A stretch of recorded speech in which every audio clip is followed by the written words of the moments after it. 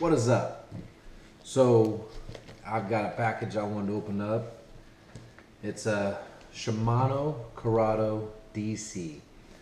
I've been dying to get one of these for a long time. I've been wanting one for a while, and uh, super excited about this one. I'm gonna open it up and and uh, go through a little bit.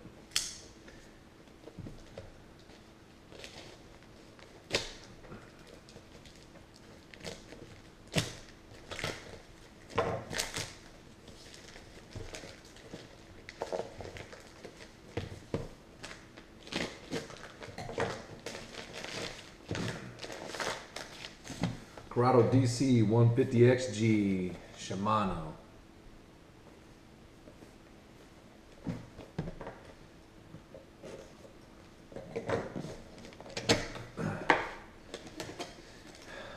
I love the sound these make. I see them on videos all the time. I like I like the way they uh, to run real smooth.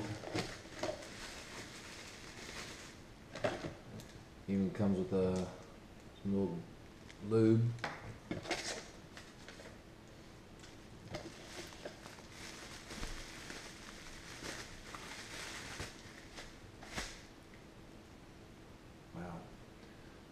First off, I'm used to Lew's, and that seems a lot taller than normal that I'm used to. Very, very smooth. Check that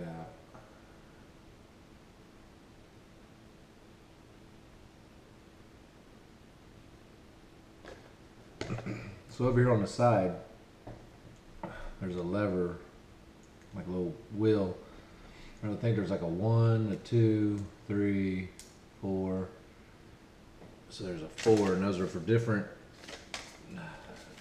types of string line. Different types of line on there. I don't know off the hand which, which ones are which, but wow, it's really, really smooth feeling. I'm going to probably pair it up with uh, Googan, 17 pound fluorocarbon. And uh, to check that out and see how it goes. I, uh, on the rod, I'm still not sure what rod I'm going to do. I'm going to do one just temporary, just to throw it out there and go test it out. Probably about a seven footer, uh, Lew's seven footers. It has a eight and a half gear. I like the high gear. Let's see what these.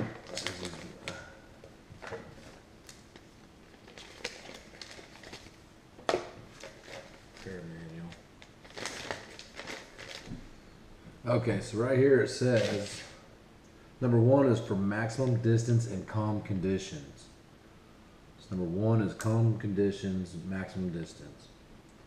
Number two is braided and monofilament lines in any conditions. Number three is for fluorocarbon lines in any condition. And number four is for extreme windy conditions, beginners, and skipping technique. So I'll probably be using three. I'll leave it on three there. I really like the thumb on it so far. Uh, I don't know how a lot of people may use theirs, but I like to have my thumb right there and I can easily keep my thumb on the spool and just kind of just pop that down. I like that. It's got a nice normal feel to it. So uh, yeah, I'm gonna go fill this up with line and uh, come back to you guys, try it out. All right, here we go. 51 degrees outside today. I got her lined up with this new Googan 17 pound, 100% fluorocarbon. Got her on a, uh, got the DC here. Just put on a regular old Lew's pole for now.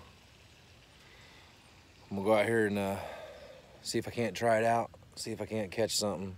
Might get lucky. All right, start off by tying uh, Start off by tying a whopper plopper on there. Figured I'd go with something slow. Alright. First ever cast with the Curado Shimano DC.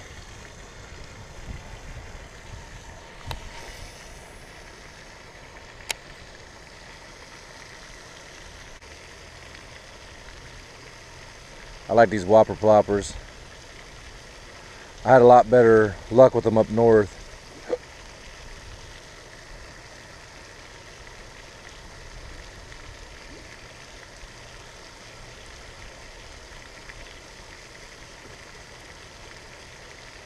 No, it's not ideal.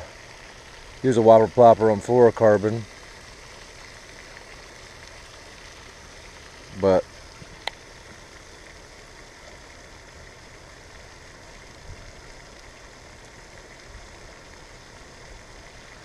trying to get it tuned it out.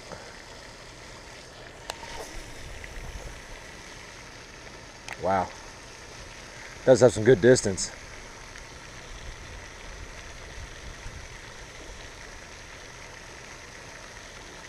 I wasn't even barely trying there and I got pretty much farther than I've ever thrown with my other reels.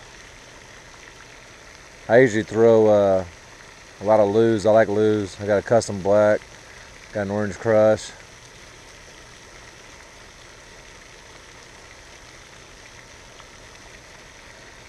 I'd like to use a jerk bait, but I'm about positive I'll lose it out here. There's a lot of this uh, green netting at the bottom. And uh, I don't know if you can see it down there in the picture. Some down there in the bottom right now. This stuff here gets stuck on everything on the bottom. You got to be careful what you use on the bottom.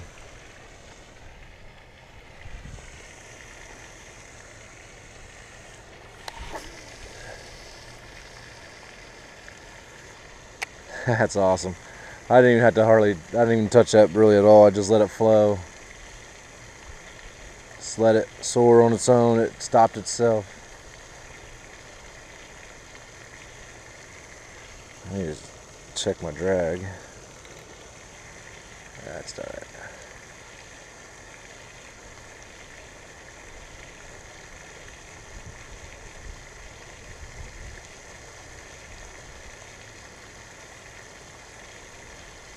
trying to reel this in as slow as I can.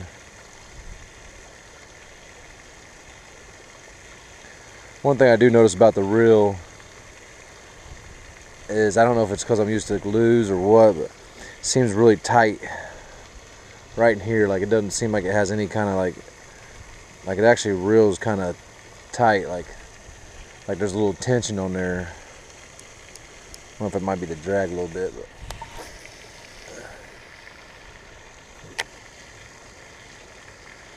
I got it on number three option for fluorocarbon. There's really no wind today.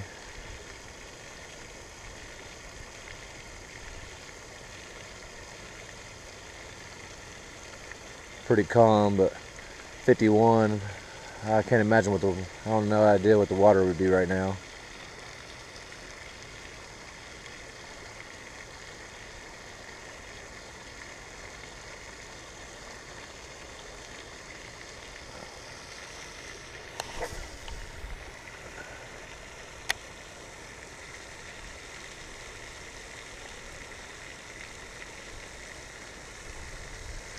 The whopper plopper I'm using, I believe is a 75 whopper plopper, one of the smaller ones.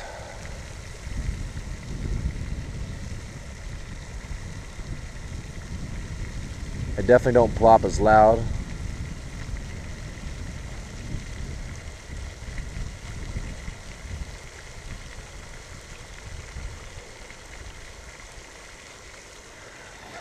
Don't get me wrong when I say I feel like it's getting it's tight in here. It just it feels really smooth. Like there's really not a lot of play in there at all. Maybe that's what I'm feeling. It just might just break in a little bit too.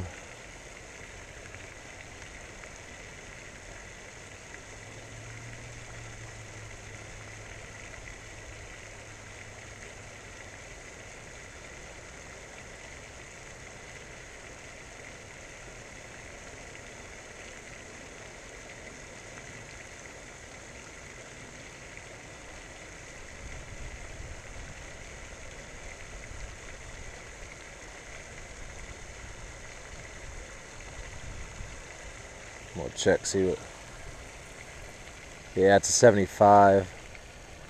75 whopper plopper.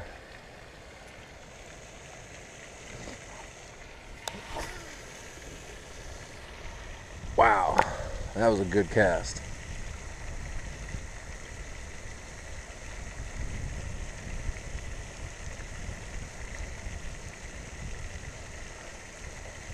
Starting to get a little used to it, just giving it some little bit more power on the push on the rod.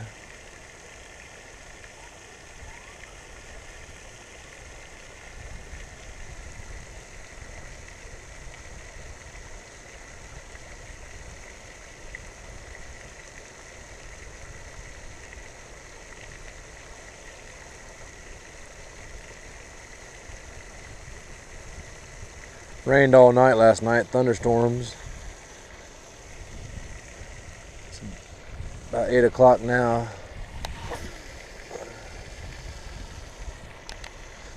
Yeah, it stopped on its own right there. I, when it, once it got in the air and it got that distance where it had the distance, it just wasn't going no further. It was just going higher. I felt it break on me. Yeah, I think this would be a really good reel for a beginner, but very expensive for a beginner to try start off with something like this.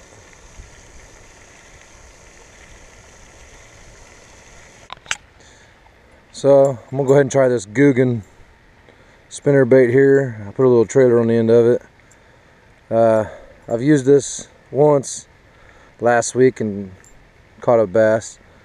Uh, I like this green ring here. It keeps the line from sliding down or around or tangling up with much stuff. Uh, pretty excited about that little dealio there.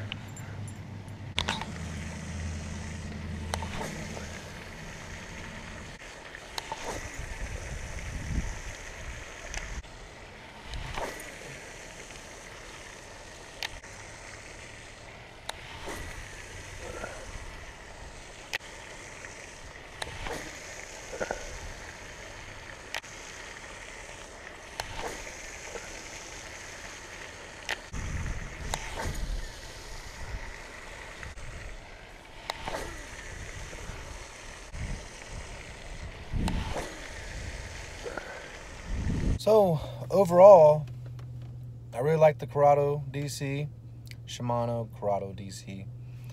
I uh, I definitely like to get another one. Um, wish I had more time to be out there fishing. I had to run, but didn't catch nothing. Kind of poor conditions. I was hoping to get lucky, but uh, maybe next time. But uh, if you guys like my videos, please subscribe, like. I got some more videos coming up. I'm gonna. Uh, do some more work on the truck. Hopefully here soon I'll post a video of doing some fuel rails on the, or fuel lines on the truck.